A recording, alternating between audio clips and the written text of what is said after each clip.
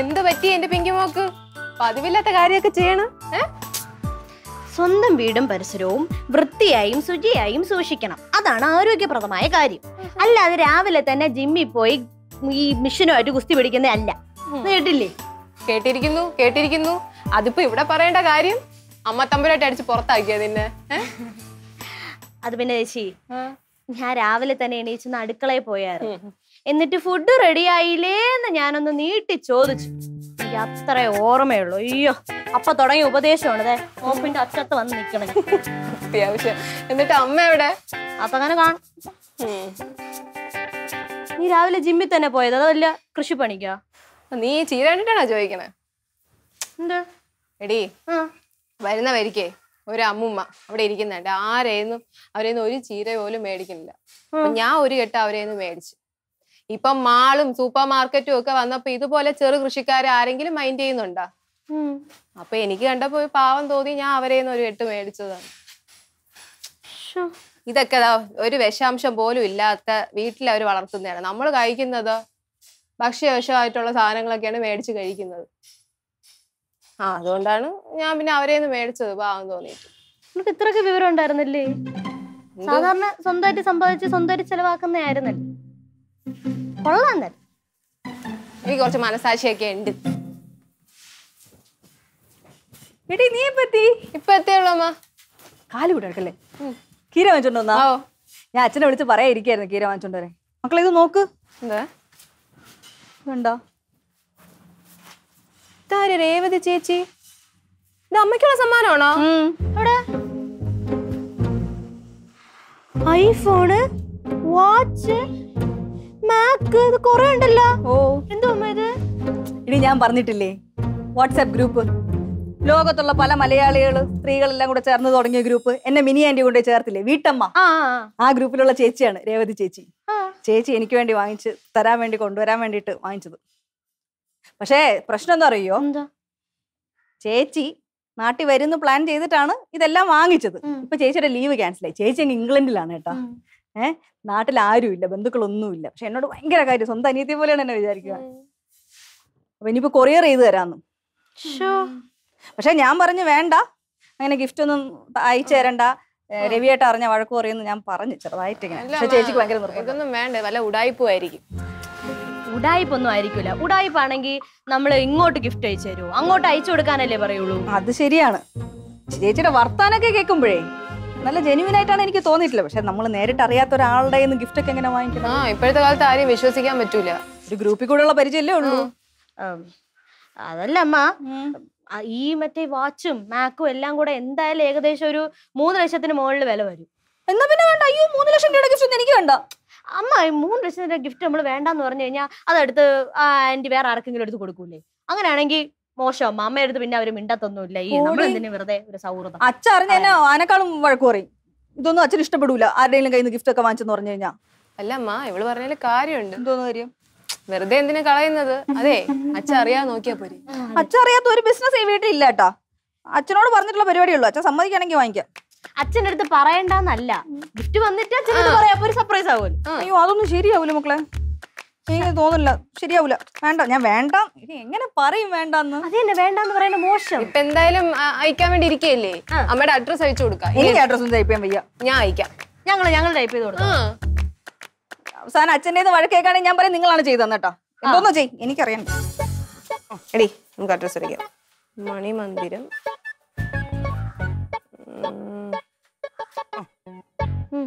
Okay. M R M R spelling correct ആയിട്ട് ഓ okay done. അയ്യോ മാക്ക് ഫോൺ നോക്കാം. ഞാൻ എടുക്കും ഐഫോൺ. ഐഫോൺ എനിക്ക് ആദ്യ സാധനം വരട്ടെ.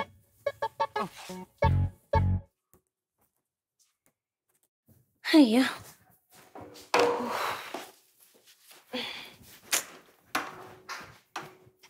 മാ ഇവിടെ വെച്ചിട്ടാണ് മാ ഇവിടെ ഓ.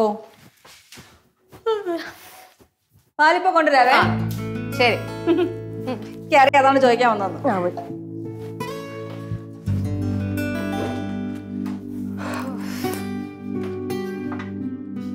ചേച്ചി എനിക്കും ഉണ്ട് ഒരു വാട്സപ്പ് ഗ്രൂപ്പ്. സ്കൂളിന്റെ. ഉം. എന്റെ ദൈവമേ അതിനകത്ത് ഈ അസൈൻമെന്റ് അയക്കുക അസൈൻമെന്റ് അയക്കെന്ന് പറഞ്ഞു വെറുതെ ടീച്ചർമാർ ശല്യപ്പെടുത്തണല്ലാതെ ഒരു പ്രയോജനം ഇല്ല ആ ഗ്രൂപ്പിനെ എനിക്കുണ്ട് എനിക്കും ഒരു ഗ്രൂപ്പ് ജിമ്മിന്റെ. അതിൽ കൊറേ കോഴികൾ കാരണം ഞാൻ ആ ഗ്രൂപ്പിൽ നിന്ന് ലീവായി ശല്യം കൊണ്ട് സഹിക്കാൻ വയ്യന്നേ എന്ത് കഷ്ടം ഇത്. നീ ആ ഗ്രൂപ്പിൽ നിന്ന് ലീവായി എടി നിന്നെ അതിനകത്ത് നിന്ന് റിമൂവ് ചെയ്ത് കളഞ്ഞെന്ന് പറഞ്ഞു ഓടി അവിടെ നിന്ന്. അതല്ലേ കൈയിരും ചേച്ചിയാണത്ര ചേച്ചി. ഇവിടെ അമ്മേരെ സ്വന്തം ചേച്ചി അല്ലാണ്ട് പോലും ഗിഫ്റ്റും ഐഫോണും മാക്കൊക്കെ അയക്കുന്നു എനിക്കിവിടെ ഒരു സ്വന്തം ചേച്ചി ഉണ്ട്. എന്തിനു കൊള്ളാം നിന്നെ കൊണ്ട്? അതെ ഞാൻ അംബാനിയുടെ മോളല്ല രവീന്ദ്രന്റെ മോളാണ്. എനിക്ക് ഇത്രയൊക്കെ പറ്റൂ. അഡ്രസ് അയച്ചിട്ട് ആടി ആ എടി റിപ്ലൈ വന്നു കേട്ടോ എന്തോ ആ ആന്റി കൊറിയർ സർവീസ് നിൽക്കുവാണ് ട്രാക്കിംഗ് നമ്പർ അയച്ചു തരാന്ന് പറഞ്ഞിട്ട്. അമ്മ. ഓ. മെസ്സേജ് വന്നേട്ടോ. എന്തോന്ന്? ആ ആന്റിയെ ആ. കൊറിയർ സർവീസിന്റെ അടുത്താണ് അവരുടെ വീടെന്നേ അപ്പൊ അവിടെ നിൽക്കുവാണ് ട്രാക്കിംഗ് നമ്പർ അയച്ചു തരാന്ന് പറഞ്ഞ മെസ്സേജ് വന്നു. ഷേ എനിക്ക് ഭയങ്കര ചമ്മൽ. ഇത്രയും ഇത്രയും എടുപ്പുള്ള ഗിഫ്റ്റ് ഒക്കെ എനിക്ക് ആദ്യമായിട്ടാണ് കിട്ടാൻ പോണത്. എന്നാലും വേണ്ടിയിരുന്നല്ലോ അല്ലേ? അങ്ങനെയൊന്നുമില്ല സ്നേഹം കൊണ്ടയക്കണേ എന്നാലുവേ തീരെ നേരിട്ട് പരിചയമൊന്നും ഇല്ലല്ലോ ഒരു ഗ്രൂപ്പിൽ കൂടെ ഉള്ള ഒരു പരിചയമല്ലേ ഉള്ളൂ. എന്നാൽ ഇത്ര പെട്ടെന്ന് ഭയങ്കര സ്നേഹമായല്ലോ. എങ്ങനെയല്ലേ ബന്ധങ്ങളൊക്കെ ഉണ്ടാവുന്നത് പെട്ടെന്ന് പെട്ടെന്ന്. ഞാൻ ഒരു കാര്യം പറയണമെന്ന് കുറെ നാളായിട്ട് വിചാരിക്കുകയായിരുന്നു. എന്തോന്ന്? അമ്മ എന്റെ ഫോണൊന്ന് നോക്കമ്മ. പിടി നോക്ക് ഇവിടെയൊക്കെ ഇങ്ങനെ പൊട്ടിയിരിക്കുന്നു ക്യാമറയുടെ അവിടെയൊക്കെ പൊട്ടി ക്ലാരിറ്റി ഒക്കെ പോയി. ഇടയ്ക്കിടയ്ക്ക് ഇത് ഹീറ്റ് കൂടി എന്ത് ചെയ്യും? ഓഫ് ആവും. ഓഫായി ഇനി ഓൺ ആവാൻ വേണ്ടി നമ്മൾ അയ്യോ മണിക്കൂറോളം കാത്തിരിക്കണം. സ്കൂളിൽ പഠിക്കുന്ന ഉള്ള കുട്ടികൾക്ക് ഇതൊക്കെ മതി. ഇങ്ങനത്തെ ഫോണൊക്കെ മതി. അല്ല അമ്മ ഈ നോട്ട്സ് ഒക്കെ അയച്ചു തരുമ്പോൾ നമുക്ക് പെട്ടെന്ന് ഒക്കെ കിട്ടിയില്ലെങ്കിൽ. നമുക്ക് എക്സാം ഒക്കെ ഓൺലൈൻ ആയിട്ടൊക്കെ ഉള്ളതല്ലേ? അപ്പൊ ഇതൊക്കെ ഓഫ് ആയി പോയി കഴിഞ്ഞാൽ നമ്മൾ എങ്ങനെ എഴുതും അമ്മ? കുഴപ്പമില്ല എന്റെ ഫോണിലേക്ക് വന്നോളൂ. അല്ല ഞാൻ പറയാൻ വന്ന അതല്ല. പിന്നെ? അമ്മയ്ക്കുണ്ടല്ലോ. ഗിഫ്റ്റ് കിട്ടത്തില്ലേ? അപ്പൊ അതിൽ ഐഫോൺ അല്ലേ? ഐഫോൺ എനിക്ക് തരണേ അമ്മ. മേടിച്ചു തരാലോ. മേടിച്ചു തരൂ. താങ്ക് യു താങ്ക് യു അയ്യോ എന്റെ അമ്മയ്ക്ക് ഇത്രയും നല്ല മനസ്സാണെന്ന് ഞാൻ വിചാരിച്ചില്ല അങ്ങ് നോക്കിയിരുന്നോ? ഇപ്പൊ തരാ. ഐഫോൺ എനിക്ക് വേണം. പിന്നെ ഐപാഡ് വേണമെങ്കിൽ നീ എടുത്തോ. വാച്ച് അമ്മയും കെട്ടിക്കോ. അയ്യേ ഫോൺ എനിക്കാണ്. നീ അങ്ങനെ നോക്കി വെക്കണ്ട. നീ അങ്ങ് അത് പള്ളി പോയി പറഞ്ഞാൽ മതി. ആ നീ പോയി പറഞ്ഞാ മതി. അങ്ങനെ നീ വെള്ളം ഇറക്കണ്ട നോക്കമ്മ ഇല്ല അത് പറ്റൂല. അത് പറ്റൂല. ഇത് നീ ഉണ്ടല്ലോ മറ്റേ ആന്റി ഇത് ഗിഫ്റ്റ് അയച്ചു തരാന്ന് പറഞ്ഞപ്പോ ആന്റി നീ എന്തോന്നൊക്കെ പറഞ്ഞ? ഉടായിപ്പാണ് അത് ശരിയാവൂല എന്നൊക്കെ അതുകൊണ്ട് നിനക്ക് ഗിഫ്റ്റ് ഇല്ല ഗിഫ്റ്റ് ഇല്ല. മിണ്ടണ്ട. നീ പൊടി ആരും ഗിഫ്റ്റ് എടുക്കണ്ട. ഇതൊന്നും പറഞ്ഞു രണ്ടും കൂടെ അടിയും തോന്നി എന്തോന്ന് പിള്ളേരെ ഇത്? ഫോൺ ബെല്ലടിക്കണം ഓ മിണ്ടടി ഫോൺ എടുക്കുന്നു അടി hello yes speaking okay twenty thousand service charge oh oh oh okay I will check and contact you back okay uh, uh, please give me some time oh, oh okay thank you എടേ മറ്റേ ചേച്ചിയെ കൊറിയറേക്കെന്ന് വന്നില്ലേ? അവരുടെ Indian branch നിന്ന് വിളിച്ചത് എന്താ പറഞ്ഞു? വിദേശത്ത് നിന്ന് ഇത്രയും വിലവെടുപ്പുള്ള സമ്മാനങ്ങൾ നമ്മൾ റിസീവ് ചെയ്യണമെങ്കിൽ ഇരുപതിനായിരം രൂപ സർവീസ് ചാർജ് കൊടുക്കണമെന്ന്. ഇരുപതിനായിരം രൂപ. ഒന്ന് രണ്ട് രൂപയല്ല. ശരിയാവൂല. അല്ല അമ്മ നമ്മൾ ഒറ്റടിക്ക് തീരുമാനം എടുക്കാൻ വരട്ടെ. ഈ ഐഫോണും മാക്കും എല്ലാത്തിന്റെ ഒക്കെ വില വെച്ച് നോക്കുമ്പോഴേക്കും ഈ ഇരുപതിനായിരം രൂപ വളരെ തുച്ഛമായ ഒരു വിലയാണ് അല്ലേ? നിനക്ക് തുച്ഛമായിട്ടായിരിക്കും. പക്ഷെ എന്റെ കയ്യിൽ ഇരുപതിനായിരം ഒന്നും ഇല്ല പിന്നെ എന്റെ കയ്യിൽ നുള്ളിപ്പറക്കി ഒരു അയ്യായിരം രൂപ കാണും. അത് വെച്ചിട്ട് എങ്ങനെ മേടിക്കും? എന്റെ കയ്യിൽ അതുപോലും ഇല്ല ഒരു കാര്യം ചെയ്യ് നിനക്കല്ലേ എത്ര നിർബന്ധം? നീ നിന്റെ പോക്കറ്റിൽ നിന്ന് പൈസ എടുത്ത് വെച്ച് വാങ്ങിച്ചോ. ഒരു കുഴപ്പമില്ല. അങ്ങനെയല്ല എന്തെങ്കിലും ഒരു വഴി ഉണ്ടാവാതിരിക്കില്ലല്ലോ ഒരു വഴിയുമില്ല. എന്ത് വഴി ഇരിക്കുന്നത് ഇനി അത് അത് അതങ്ങ് വിട്ടേക്കമ്മ ആ അത് തന്നെ ആ. ഞാൻ വിളിച്ച് പറയാം. ഇതൊന്നും ശരിയാവൂല ചേച്ചി. വേണ്ടെന്ന് പറയാം. എടുത്തു ചാടി ഒന്നും വിളിച്ചു പറയാൻ നിൽക്കണ്ട. അമ്മേരല്ലേ എ ടി എം ഇല്ലേ? എന്റെ എ ടി എം കാർഡൊക്കെ അച്ഛന്റെ ഇല്ലല്ലേ ഇരിക്കണേ? അമ്മയ്ക്ക് ഓൺലൈൻ ബാങ്കിങ് ഉണ്ടല്ലോ. ഓൺലൈൻ ബാങ്കിങ് ഉണ്ട് പക്ഷെ എന്റെ പാസ്വേഡ് നിനക്ക് അറിയോ ഇല്ല. ഇല്ലല്ലോ? എനിക്ക് അറിഞ്ഞൂടാ അച്ഛനെ അറിയുള്ളൂ ഇതൊക്കെ. അല്ലെങ്കിൽ തന്നെ എനിക്ക് ഇതിന്റെ ഒന്നും ആവശ്യമില്ലാത്തതുകൊണ്ട് ഞാൻ നോക്കാറില്ല സത്യം പറയാം. എല്ലാം നിന്റെ അച്ഛൻ പിന്നെ ബാങ്കുകാരനായതുകൊണ്ട് എല്ലാം അങ്ങേരെ ഏൽപ്പിച്ചേക്കല്ലേ. എനിക്ക് ആവശ്യത്തിന് അന്നുള്ള ചിലവിനുള്ള പൈസ എന്റെ കയ്യിൽ ഇരിപ്പുണ്ട്. പിന്നെ അങ്ങ് വിട്ടേക്ക്. ഞാൻ എന്ത് ചെയ്യാൻ പറ്റും? പൈസ ഇല്ലല്ലോ? പൈസ ഇല്ല. ഇരുപതിനായിരം രൂപ അല്ലെങ്കിൽ തന്നെ വീട്ടിൽ വെച്ചോണ്ടല്ലേ ഇരിക്കുന്നു പറ. വിടാൻ വരട്ടെ. എന്റെ ഒരു ഐഡിയ ഉണ്ട്. എന്തോന്നു? കുറച്ച് ഡേഞ്ചറസ് ആണ്. ഓ. മോഷണമായിരിക്കും. റിങ്കി ബിഹേവ്. നീ പറ എന്തോ നന്ന അമ്മ നമുക്ക് കുറച്ച് സ്വർണം എടുത്തേ. പണയം വയ്ക്കാം ആരുടെ സ്വർണം? അമ്മയുടെ സ്വർണം. അമ്മയുടെ സ്വർണം ഒന്നും ഇവിടെ വച്ചിട്ടില്ല. നിന്റെ അച്ഛന്റെ ദാനശീലം കാരണം അമ്മ എല്ലാം കൊണ്ട് ലോക്കറി വെപ്പിച്ചു പുലിനടയിലത്തെ. എന്റെ സ്വർണം സ്വർണം ഇല്ല? മനസ്സിൽ വെച്ചോ. അമ്മ സ്വർണം അയ്യോ അത് സ്വർണം അല്ല ആണ് അയ്യോ ഇത് മുക്ക്. അയ്യോ ഇല്ല അമ്മ അത് കണ്ടാ പറയൂലല്ലോ മുക്ക്. അയ്യോ സ്വർണം തന്നെ അമ്മ. അമ്മ നമുക്ക് ഇത് പണയം വയ്ക്കാം അമ്മ. എന്തോന്ന് പിള്ളേരെ? പണയം വെച്ച് നമുക്ക് ഇരുപതിനായിരം കിട്ടുമോ ഇതിന്. പുലിനട വീട്ടിലെ ആ പാരമ്പര്യം ഇല്ല ഞങ്ങൾ ആരും പണയം വെക്കാറില്ല. അയ്യോ അമ്മ പണയം വെക്കണ്ട ചേച്ചി പണയം വെച്ചു. ഞാനാ? അതെ. അമ്മ നമുക്ക് എന്തായാലും ഇത് പണയം വെച്ചിട്ട് കാശ് കിട്ടുമല്ലോ ആ കാശ് കിട്ടിയിട്ട് നമുക്ക് ആ സാധനങ്ങളൊക്കെ വരുമല്ലോ ആ സാധനങ്ങൾ വന്നു കഴിഞ്ഞ് അച്ഛൻ ഇതൊക്കെ കാണിക്കുമ്പോഴേക്കും അച്ഛൻ എന്ത് ചെയ്യും? അതിലങ്ങ് വീഴും. അപ്പൊ അച്ഛന്റെ ഒരു ഇരുപതിനായിരം രൂപ നമുക്ക് മേടിച്ചതിന് ശേഷം നമുക്ക് ബാഗിൽ കൊണ്ട് കൊടുത്തിട്ട് ഇതെടുക്കാം. എടി നിങ്ങൾ പറയുമ്പോൾ അത്ര സിമ്പിൾ ആയിട്ടുള്ള കാര്യമൊന്നും അല്ല. ചെറിയ എമൗണ്ട് അല്ല. ഇരുപതിനായിരം രൂപ. രണ്ടു പവന്റെ വള കൊണ്ട് പണയം വെച്ച് എടുക്കേണ്ട ആവശ്യമൊന്നുമില്ല. വേണ്ട അമ്മ ഞാൻ please സമ്മതിക്കൂല. അമ്മ, please അമ്മ. ഇതൊന്നും വേണ്ട. ശരിയാവൂല. അമ്മ എന്ന് ഒരു താമ എന്തമ്മ ഇത് വരാത്ത അമ്മയുടെ. വിടടി എന്തോന്നടി ഇത് കാണിച്ചു വെച്ചേക്കുന്ന എന്റെ കൈ? ഓ ചുമന്ന് തടയിക്കൂടെ ചേച്ചി. എന്തോന്നടി നിനക്ക്? പിള്ളാരെ ഒരുമാതിരി എന്നെയും കൂടെ കുടുക്കി ചാടിക്കരുത്. നിങ്ങൾ ഓരോ അതിമുഖങ്ങൾ കാരണം. ഇല്ല അമ്മ. ഒന്നും സംഭവിക്കില്ല. ഞാൻ ഗ്യാരണ്ടി അമ്മ. പ്രോമിസ് മണിക്കുട്ടി. ഓ രവിയേട്ടാ.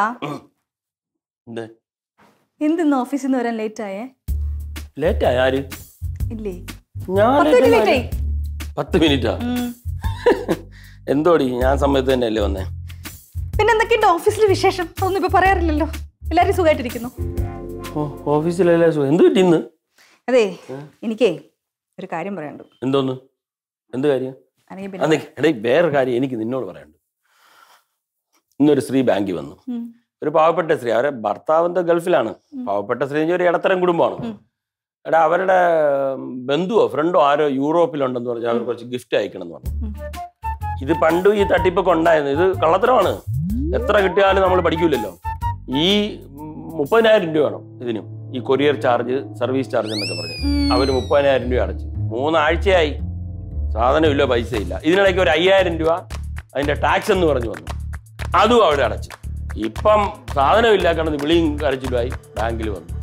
ഞാൻ പറഞ്ഞു കിട്ടാൻ വഴിയില്ല അവർ പറഞ്ഞ അഡ്രസ്സിലല്ലേ നമ്മൾ പൈസ അയച്ചത്. ബാങ്കുകാർ കൊടുക്കും പിന്നെ അവരെ സീനിയർ മാനേജർ പോയി കണ്ട് കാര്യം പറയാൻ പറഞ്ഞു. പറഞ്ഞിട്ടൊന്നും ഒരു കാര്യമില്ല കിട്ടാനൊന്നും പോണില്ല. എന്തോ വിവരവും വിദ്യാഭ്യാസം ഉള്ളവരാണ്. ആ കാര്യത്തിൽ എനിക്ക് എന്റെ വീട്ടുകാരെ കുറിച്ച് അഭിമാനമാണ്. എന്റെ മണിക്കുട്ടിയായിരുന്നാലും പിള്ളേരാണെങ്കിൽ അങ്ങനെയൊന്നും ഒന്നിലും വീഴില്ല നോക്കിയും കണ്ട് എന്തെങ്കിലും ചെയ്യുള്ളൂ. ഉം. പിള്ളേരെവിടെയാണ് പിള്ളേര് അവിടെ എവിടെയെങ്കിലും കാണും. ഇവിടെ എവിടെയെങ്കിലും ഉം. ഇന്ന് രണ്ടും നല്ല സന്തോഷത്തിലാണല്ലോ. സന്തോഷത്തിലോ? ആയിരിക്കും. പിന്നെ നീ എന്തോ പറയണ്ടെന്ന് പറഞ്ഞു? ഇപ്പൊ പറഞ്ഞു? നീ എന്തോ എന്നോട് ഇപ്പൊ പറഞ്ഞില്ലേ? ഞാൻ അങ്ങനെ പറഞ്ഞിട്ടേ ഇല്ല മണി ഇന്ന് കഴിക്കാൻ തോന്നുന്നു കഴിക്കാനോ? എടി അത്താഴം എന്തെന്ന്? ഇന്ന് വല്ല കഴിക്കണ്ടോ? ഇന്ന് എന്തോന്നായിരുന്നു? ആ, ചപ്പാത്തി. ചപ്പാത്തി ഉണ്ടാക്കാൻ പോകും നിനക്ക് എന്ത് പറ്റി? ഏയ് ഒന്നുമില്ല. ചപ്പാത്തിയും കറിയും എന്തോന്നു? മുട്ടക്കറി. വെജിറ്റബിൾ കറി ഉണ്ടാക്കിയാൽ മതിയായിരുന്നു മുട്ടയൊക്കെ വൈകുന്നേരം കഴിച്ചു. എന്നാ മുട്ട മാറ്റി കഴിച്ചാൽ മതി വെജിറ്റബിൾ കറിയോ ഉള്ളിക്കറിയോ? എന്റെ ആ നീല ഷർട്ടേ ഒന്ന് തേച്ച് മടക്കി. ഇതല്ല നേവി ബ്ലൂ ഷർട്ട്. നാളെ അത് വേണ്ടിയിട്ടുണ്ട് രാംകുമാർ സാർ വിളിക്കുന്നു. Hello sir. ഓ ആ ആ. അത് നാളെ അല്ലേ സാർ? അത് നാളെ ക്ലിയർ ചെയ്യും നാളെ ക്ലിയർ ചെയ്യും. Okay sir. ഉറപ്പാണ്. ഞാൻ എങ്ങനെ ഇങ്ങോട്ട് പറയും? എന്റെ വളയും പോയി.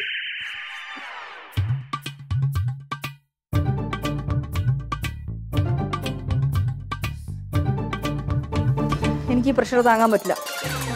എനിക്ക് വല്ല ഹാർട്ട് അറ്റാക്ക് വന്ന് ഞാൻ ചത്തു. ഞാനേ അച്ഛനോട് എല്ലാം തുറന്നു പറയാം കേട്ടോ. അതെ അമ്മ വിഷമിക്കാതെ. അതിന് മാത്രം ഇവിടെ ഒന്നും സംഭവിച്ചില്ലല്ലോ. ഒന്നും സംഭവിച്ചില്ലേ? ഏ? ഇല്ല. ഒന്നും സംഭവിച്ചില്ല. നീ മിണ്ടരുത്. നീ കാരണമാണ് ഇതെല്ലാം സംഭവിച്ചിരിക്കുന്നത്. ഞാൻ രവിയേട്ടനോട് ഇതുവരെ ഒരു കാര്യവും മറച്ചു വെച്ചിട്ട് എല്ലാ കാര്യവും പറഞ്ഞു ഇത് ആദ്യമായിട്ടാണ് ഇങ്ങനെ സംഭവിക്കുന്നത്. അതമ്മാ അമ്മയ്ക്കൊരു വെപ്രോളം പരിവേഷമൊക്കെ ഉണ്ടാവും. ആദ്യമായിട്ടല്ലേ ഇങ്ങനത്തെ കള്ളത്തേരൊക്കെ ചെയ്യണേ. പിന്നെ അങ്ങ് ശീലായിക്കോളൂ അമ്മ. ഓടി ഓടുന്നു.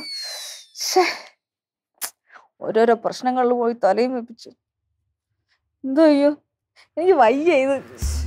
എങ്ങനെ പറയും അച്ഛനോട്? എന്ത് വിചാരിക്കും നമ്മളെ പറ്റി? അതെ. നീ അച്ഛൻ പറഞ്ഞ പോലെ ആ ഇംഗ്ലണ്ടുകാരി വല്ല ഉടായ്പ ആണെങ്കിലോ?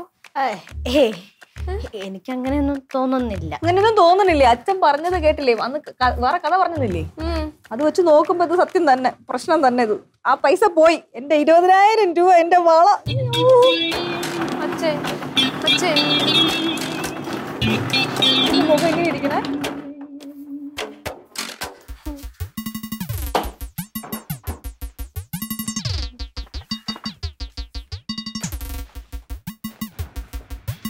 രവിയേട്ടാ എന്ത് പറ്റി? ഇതിൽ കൂടെ എന്തോന്ന് പറ്റേ? അച്ഛ എല്ലാം അറിഞ്ഞമ്മ ഇനി ഒന്ന് വിളിച്ചേക്കണ്ട പറഞ്ഞു രവിയേട്ടാ ഒരു അബദ്ധം പറ്റിപ്പോയി ക്ഷമിക്കണം.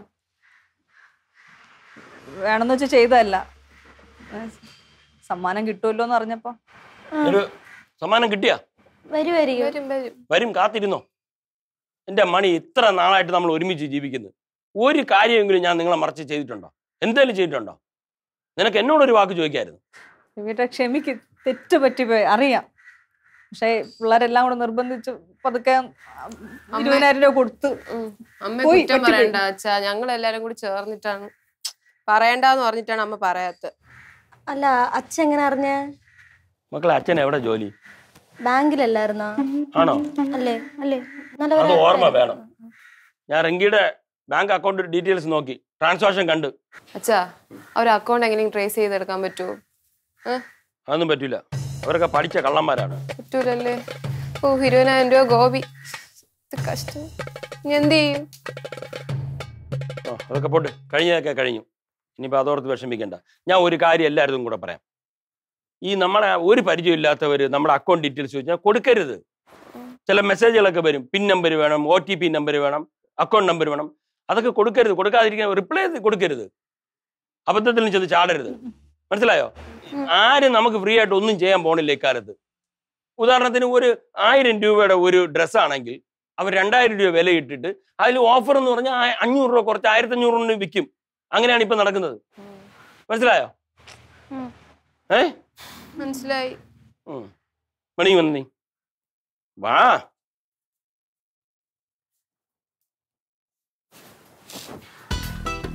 വ- വള അച്ഛാ അച്ഛൻ ഇതെങ്ങനെ അറിഞ്ഞേ? നിങ്ങളെ പണയം വെക്കാൻ വേണ്ടി കൃഷ്ണ പാക്കേജ് പോയില്ലേ? പോയി. അതിന്റെ ഓണർ ഗോപാലകൃഷ്ണൻ എന്നെ വിളിച്ചിരുന്നു. അങ്ങനെ വിളിച്ച് കാര്യമെല്ലാം പറഞ്ഞു. പക്ഷെ ഞാൻ അപ്പം വിശ്വസിച്ചില്ല മണി. പിന്നെ തിരിച്ചു വന്നപ്പോ അവിടെ കേറി കാര്യങ്ങളൊക്കെ അന്വേഷിച്ചു. ഇതെടുത്തോണ്ട് ഇങ്ങ് വന്നു. രവിയേട്ടാ സോറി ഇനി ഇതേപോലത്തെ അബദ്ധത്തിലൊന്നും വീഴൂല. സോറി ഏട്ടാ. കുഴപ്പമില്ല. നീ ഹാപ്പി അല്ലേ?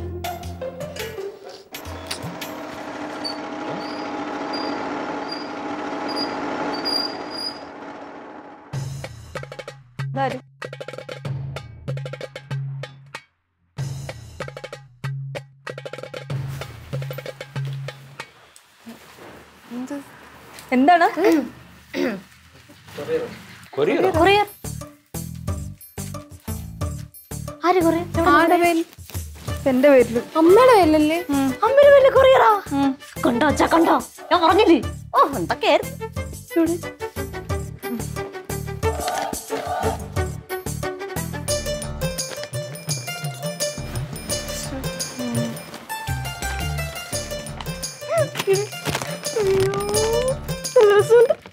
കുട്ടിരടി ആ.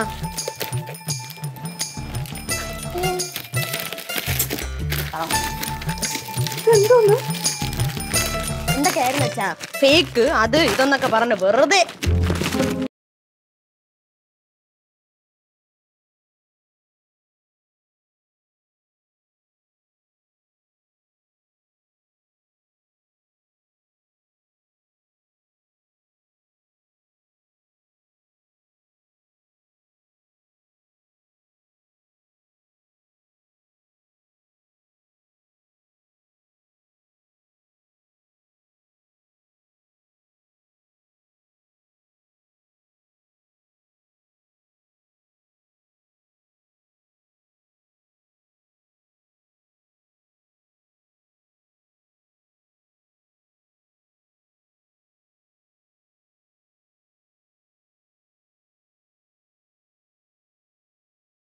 സമ്മാനം അച്ഛാ.